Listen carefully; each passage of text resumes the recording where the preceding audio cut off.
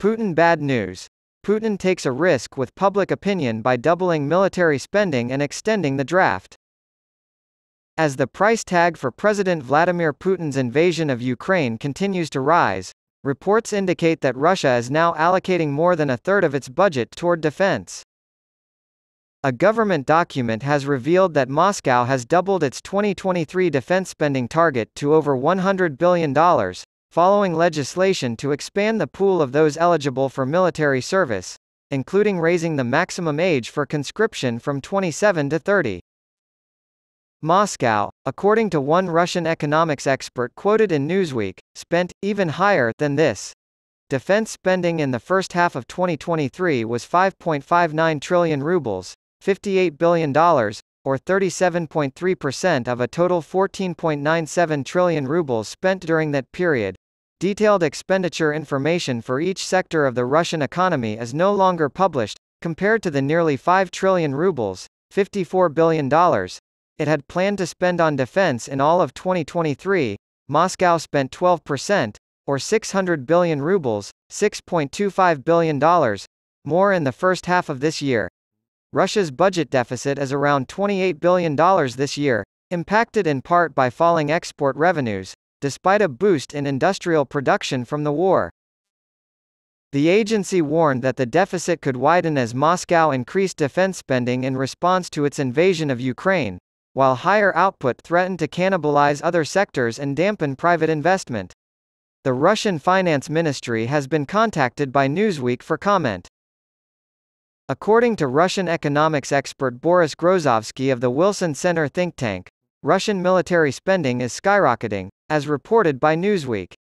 More money is being spent on the war than Reuters reported. This was due to the fact that repairing damaged cities and occupying new ones were also part of the war's overall cost.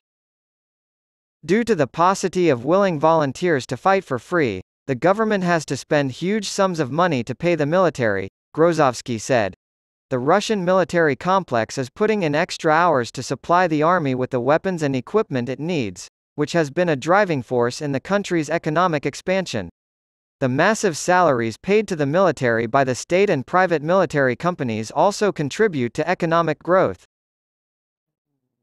Regional military families use these funds to settle their debts with banks, purchase vehicles, make home improvements, furnish their dwellings, and so on. According to Grozovsky, the Russian government will have to increase taxes, while large corporations will be subject to higher profits taxes, be required to co-finance private military units, and see reductions in civic spending. Russians will still be feeling the effects of Putin's war, sanctions, and troop mobilization in 2024, when he is expected to run for re-election in the country's tightly controlled political environment. All fit Russian males between the ages of 18 and 27 were previously conscripted for a year of military service. The Russian parliament has also passed a bill that would increase the fine for men who ignore their draft notice from 3,000 rubles, $60, to 30,000 rubles, $315, starting on October 1.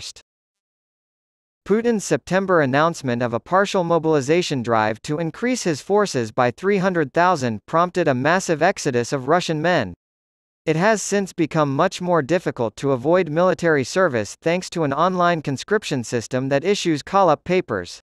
Once a conscript receives their summons, they are no longer allowed to leave the country.